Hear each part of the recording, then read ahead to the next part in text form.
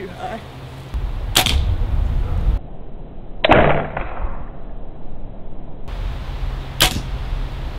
That'll work.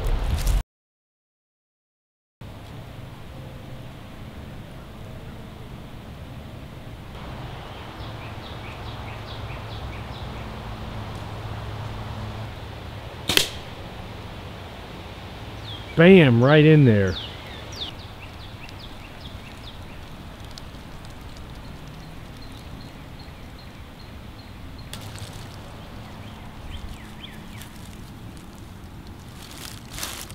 Yeah, I don't know if we're getting that out.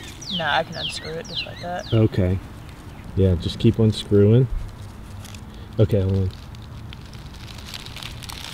Damn, that thing was in there. Yeah, Looks like brain to me. yeah, that's it. That went all the way through. That's that's. I guarantee you, that's in the base of the skull. It might have gone even through into the through the bottom of the skull. That's a dead deer, no doubt about it.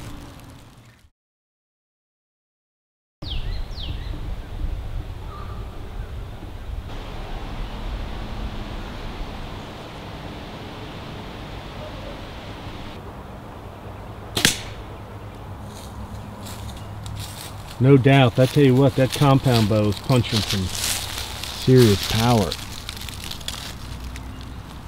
I mean, it's in there.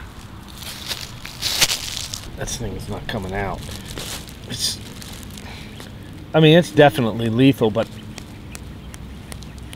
You know, we can push it all the way through and go out that other way.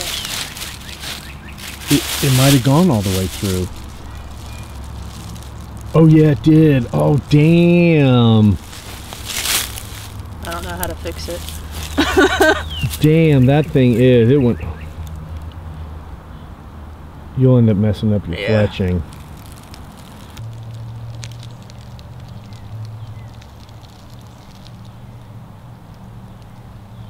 So I've had plenty of shots where I've always had deer right under me, and I never knew if my bow was strong enough, since I am a girl, if I was pulling enough weight to kill a deer directly under in the head. So I was very impressed that my bow stood up to the test today. Savannah, where are you going?